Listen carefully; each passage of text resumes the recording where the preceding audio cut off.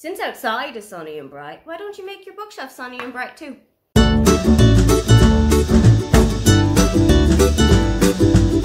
Hi, welcome, come on in. My name is Aoife and today I am taking you through some books with yellow covers that I definitely think you need to check out.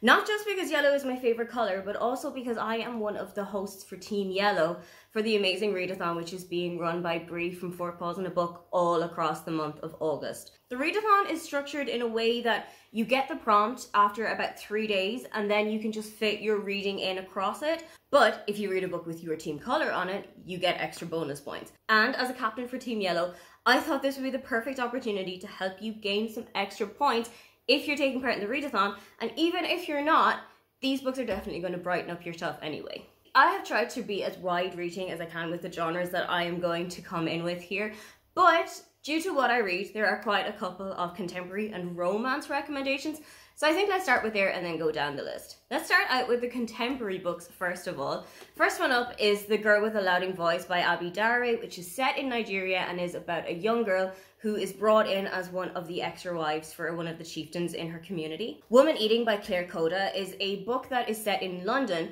where our main character Lydia is a vampire and her source of food is starting to run out, so it's looking like she's gonna have to start eating human flesh. Girl Woman Other by Bernardine Evaristo is also set in London and is much more multicultural.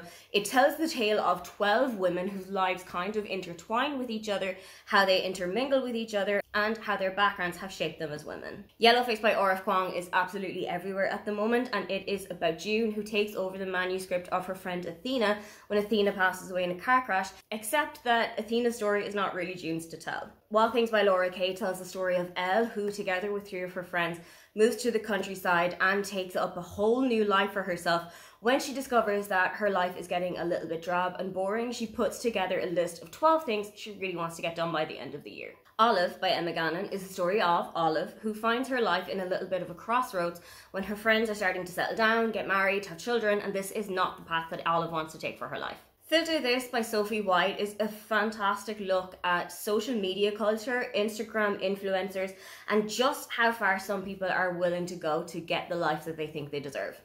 Read by Emily Henry is about January and Gus, who are both authors. They are going through some writing block at the moment, so they decide to swap manuscripts with each other and try to give a hand at writing each other's genre. Moving on to romance, and we will start with Love and Other Flight Delays by Denise Williams is a collection of three short stories that are all set around the airport. So if you are anyone who wants to add a little bit more travel into the amazing readathon, this is a great way to do so. The Summer Job by Lizzie Dent follows Birdie, who takes a job on as a sommelier in a four-star hotel in the Highlands of Scotland. But it turns out that this is not the dream job for Birdie, it's actually the dream job for one of her other friends who is a high class sommelier, and Birdie doesn't know the first thing about wine. The Unhoneymooners by Christina Lauren tells the story of Olive and Ethan who are sent on their siblings' honeymoon when everyone else at the wedding gets food poisoning, but Olive and Ethan have to pretend to enjoy each other's company when deep down they generally can't stand each other. The Soulmate Equation by Christina Lauren tells the story of Jess and River, who are brought together by a dating app that was thought up by River, where everyone is joined together based on how compatible their DNA is, Jess and River have a DNA compatibility of almost 100%. The Split by Laura Kay tells the story of Ali, who retreats to her father's home in Sheffield after a breakup and reunites with her childhood friend Jeremy, and then the two of them spend pretty much the whole book training for a marathon. The Bride Test by Helen Hoang is about Khai and Esme. Esme is flown over to the US from Vietnam to be a bride for Khai, who is suffering from social anxiety, has some ADHD, and she really starts to bring him out of his shell. The Minute I Saw You by Paige Toon tells the story of Hannah and Sonny, who meet each other on holiday and decide to have a relationship, just a short term fling, but it turns out that fate has something longer on the cards for them. My favourite Half Night Stand by Christina Lauren tells the story of Millie, who makes an online persona for dating apps and accidentally matches with one of her best friends, with whom she has just recently slept with, and there's a whole story of subterfuge here about do you really know the person that you're talking to? The Roommate by Rosie Danan is about Clara and Josh who move in together. Clara was brought up in a very middle class, well to do area. and she is kind of going into the world for the first time and is shocked to learn that her new roommate is an adult entertainer.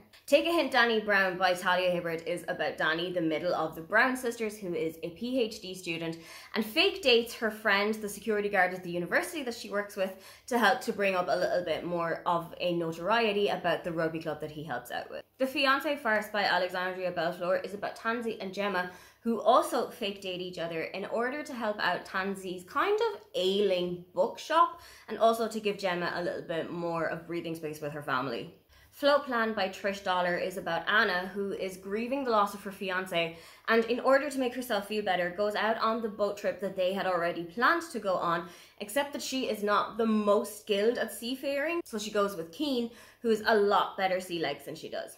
The Love Wager by Lynn Painter is about Jack and Hallie, who have just come out of a one night stand together, but have also matched with each other on a dating app, so they decide to be each other's wingman and end up falling in love with each other. The Perfect Find by Tia Williams is about Jenna, who is looking to get back into the world of magazine writing by signing up for a pretty millennial focused online website and falls in love with the videographer who works for the website that is about 15 to 20 years her junior. For children's and YA books, pretty much any of the books in the Babysitters Club by Anne M. Martin are going to hit here because quite a lot of them have got a yellow bricked house on the background, but there are also quite a few other books that you can take up as well.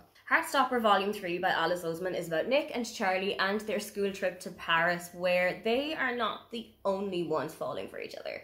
In a connected story, Nick and Charlie, also by Alice Oseman, tells the story of Nick and Charlie as Nick is about to go off to university and Charlie is left behind as he is a year behind him. Bill's New Frock by Anne Fine is a fantastic story about gender identity where we're following Bill who wakes up one morning, puts on a dress, goes off to school and lives his life just wearing a dress. Date Me Bryson Keller by Kevin Van Whye is about Kai, who asks Bryson Keller out on a date knowing that Bryson is under a bet where he cannot say no to anybody, and Kai is the first guy who has ever asked Bryson out. Destination Anywhere by Sarah Barnard follows Peyton, who, having gone through yet another disappointment in her hometown, takes her dad's credit card with her, heads off to the airport, and just books the first flight that she can find, and discovers herself and a whole new batch of friends along the way.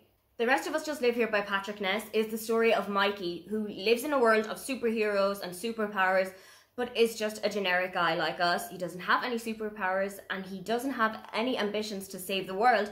He just wants to get out of high school. Next up is thrillers, starting out with Strange Sally Diamond by Liz Nugent. This is the story of Sally Diamond, who, when her father passes away, puts his body into the farm's incinerator as she thinks he had wanted her to do, but it turns out that this is the catalyst for Sally finding out exactly who she was and what her real family was like. A Keeper by Graham Norton tells the story of Elizabeth, who has come back to Ireland from New York to sort out her mother's home and belongings after her mother passes away.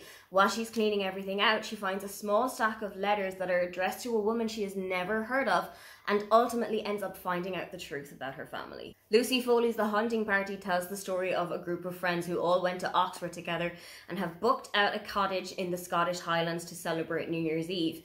Two days later, one of their party turns up dead. Moving on next to non-fiction, Everyone You'll Hate is Going to Die by Daniel Sloss is a kind of a retelling of the jokes that he has told on stage. And it also starts out with a statistic that 20,000 divorces, breakups, and engagement call offs have been caused by one of the jokes that Daniel's Sloss has told. Taste by Stanley Tucci is Stanley's memoir about his life growing up with Italian immigrant parents, how much of an impact food has had on his life, and also the moment that he went through throat and mouth cancer where he couldn't eat as much as he loved to and as much as he wanted to. Women Don't Owe You Pretty by Florence Given is a guide to relationships, sex, money, love, everything that every person identifying as a woman needs to read. Everything I Know About Love by Dolly Alderton is Dolly's memoir, not just talking about romantic love, but also talking about platonic love for the best friend that she's had for so long. The tabs that you can see here are actually recipes that I have gone back to time and time again. I'm Glad My Mom Died by Jennette McCurdy chronicles Jennette, who was a child actress's relationship with her mother that turned into abusive, financially, sexually, and physically. I Feel Bad About My Neck by Nora Ephron is a collection of essays by Nora about living in New York, about working as a screenwriter, and is basically something that anybody who was a fan of her movies should read. Parsnips Buttered by Joe Lycett is a collection of all of the jokes that he has told and some of the little email trickery and blackguarding that he has gotten up to. Furiously Happy by Jenny Lawson takes a look at Jenny's struggles with severe depression and how that has actually forced her to live her life to the fullest. Maybe You Should Talk to Somebody by Lori Gottlieb is the story of Lori, who is a therapist working in New York, and the chronicles that she had with a particularly difficult client that she had worked with for over a year. In terms of historical fiction, Carrie Soto is Back by Taylor Jenkins Reid is the story of tennis player Carrie Soto, who comes back for one more year after retirement when it turns out that her world record is a little bit in jeopardy. Bringing Down the Duke by Evie Dunmore is the story of Annabelle, who has won a scholarship to Oxford as one of the first female students in the university, and to earn her place at the university, she has to get involved with the suffragette movement. Dear Mrs. Bird by AJ Pearce tells the story of Emmeline Lake, who was taken on as a secretary by a woman's magazine in the Blitz in London and is taken on as the assistant to Mrs. Bird, who doesn't particularly enjoy talking about a lot of topics in the letters that she receives. However, Emmeline is about to turn this magazine right on its head.